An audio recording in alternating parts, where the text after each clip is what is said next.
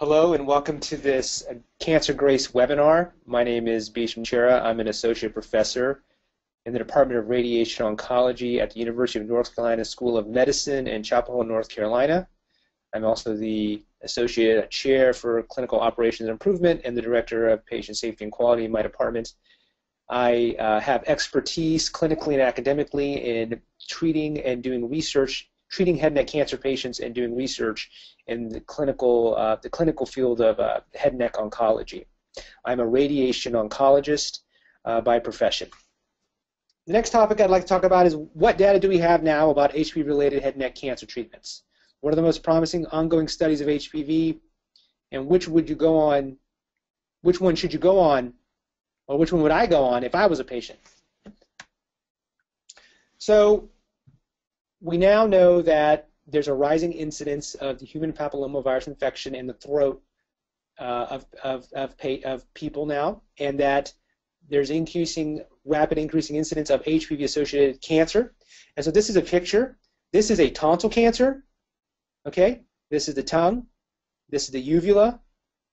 And you can see here this cancer, exophytic cancer growing in the tonsil. There are many different ways to treat cancer of the tonsil and base of tongue. Uh, the most uh, standard approach is to receive chemotherapy and radiation. Most institutions have adopted this treatment as the standard treatment as it is, is the least invasive uh, treatment uh, and it preserves the organs and normal tissue functions the best.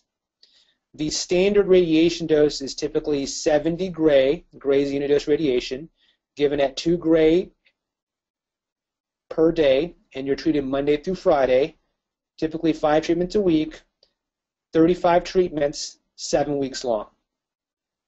Often chemotherapy will be given concurrently with the radiation if you have uh, stage 3 or 4 disease, and the most common chemotherapy regimen is cisplatin 100 milligrams per meter squared, given in three doses during the seven-week course.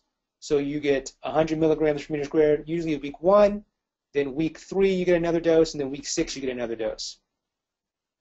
After you finish your seven-week course of chemotherapy and radiation, you will typically have a PET CT scan performed 12 weeks post-treatment to assess whether you uh, the disease response, and if the cancer is gone at that point, you're observed.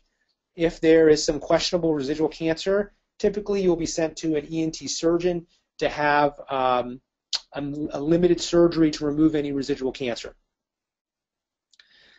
So I've we I've shown in my other other topics with this uh, other uh, uh sections of this talk, uh, this webinar, that HPV associated head and neck cancer have a more favorable prognosis, especially if you have a minimal smoking history, and your cancer control rate can be as high as greater than 90%.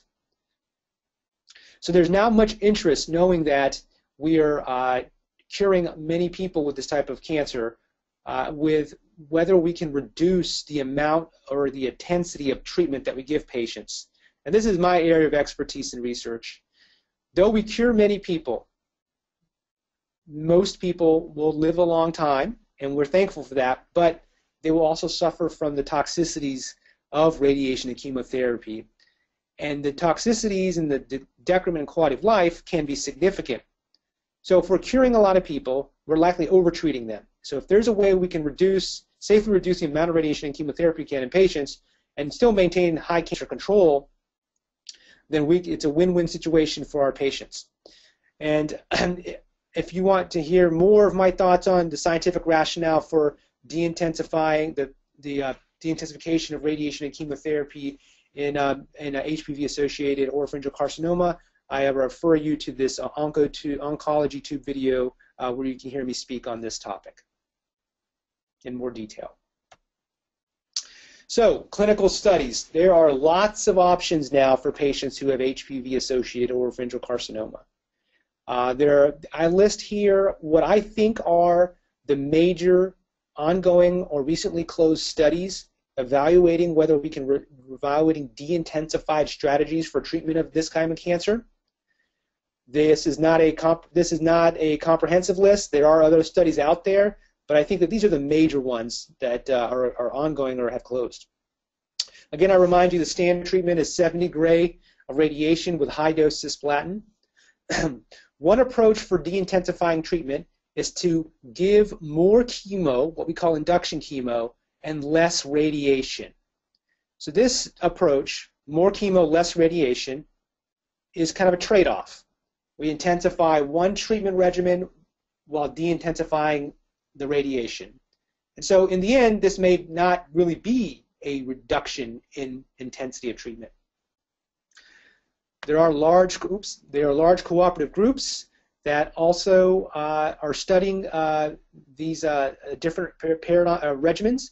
Another regimen, uh, recently closed study, national study by the RTOG cooperative group, is to it was to reduce intensity by giving a more targeted chemotherapy called cetuximab or Erbitux, which is uh, been reported to have less side effects than the standard cisplatin chemotherapy.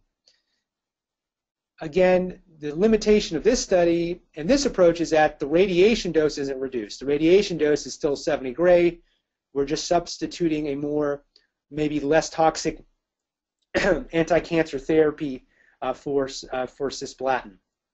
And again, in the end, this also may not be much of a reduction in intensity of treatment, as most of the long-term side effects are related to radiation therapy causing dry mouth and swallowing problems. The next big approach is incorporating surgery. And again, another trade-off.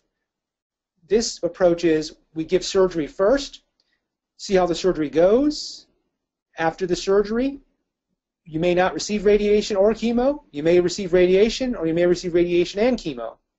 Again, the trade-off here being that we're going to reduce the radiation and chemo by adding surgery.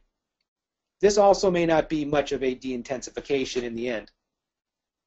At UNC, uh, and in my uh, and with my collaborators, uh, we have led the uh, the effort in reducing both radiation and chemotherapy for the treatment of HPV-associated head and neck cancer, and I'll talk more about that later. But I think that the two biggest approaches that are being studied are adding surgery and reducing radiation and chemo, or the approach that we have uh, pioneered and led at UNC of reducing radiation and reducing chemo. So the largest, uh, and I think one of the mo most important de-intensification clinical trials that is ongoing right now that you can actually join is this ECOG study, and I briefly discussed it uh, on the previous slide. But what they're doing is that they're taking HPV-associated head, neck, base of tongue, and tonsil cancers. Everyone is getting surgery. If after surgery the pathologist says you have very limited cancer, you will receive no further treatment. If pathology report shows that you have high risk features in your cancer, you will receive radiation and chemo. And if your pathology report is somewhere in between high risk and low risk, you will get radiation alone. Of course, avoiding radiation and chemotherapy is a major de-intensification, and if we can do that, that is a very good approach. But as you, it's very hard. It's very very few patients actually are able to avoid radiation and chemotherapy after surgery. So in this study, they reported as of April 2015 that at that point, they had 135 patients enrolled. They are now they've recruited a lot more. Only 11 patients who enrolled in this study were, were, were able to avoid radiation and chemotherapy. So as a patient, if you're going to have surgery first, either off, off study or on study, you have to you know be you know you have to be you have to understand that uh, there is a very low chance that you will be able to avoid radiation and chemotherapy um, after surgery. I think the other major uh, clinical trial that one can enroll on uh, are the uh, de-intensification studies that we do here at UNC and with our collaborators across the country, where we take very favorable risk patients, those who are HPV positive, who are minimal smokers, and we reduce radiation and chemotherapy. We do not give extra chemo up front. We do not do surgery up front. This is a pure reduction in the radiation and chemotherapy So patients on our studies, they receive 60 gray of radiation over six weeks instead of the standard 70 in seven weeks, which is a 10 gray reduction. The chemotherapy is reduced from 300 milligrams per meter squared to 180. So instead of giving 100 milligrams in, in uh, uh, 100 milligrams three times during radiation, we give low dose weekly cisplatin at 30 milligrams, six weekly doses. And so the chemotherapy, there's a 40% reduction in the chemotherapy dose uh, and the uh, UNC regimen of deintensification. We have published our preliminary uh, first uh, phase two results with excellent outcomes. Uh, around 44 patients were enrolled in our, in our first study, and all patients are alive with no evidence of cancer with two years of follow-up for the patients on the study. And so at UNC, we continue to treat patients with this UNC regimen on, on clinical trials, and we have several new generations of de-intensified chemotherapy radiation studies. But the basic backbone of 60 gray of radiation and low-dose cisplatin chemotherapy is used. Our results are published in, the, in, in a, in, the, in a high-impact radiation oncology journal, and this is the uh, headlines of the editorial uh, that you may also read uh, in peruse at your own leisure. The, uh, the uh, cooperative groups are now studying the UNC regimen in a large national phase two randomized study. This is the NRG Oncology Group. They are taking favorable risk HPV positive oropharynx cancer patients and randomizing them to the UNC regimen versus a radiation alone regimen. And so this is another study that is currently enrolling patients that uh, a, a patient may be interested in.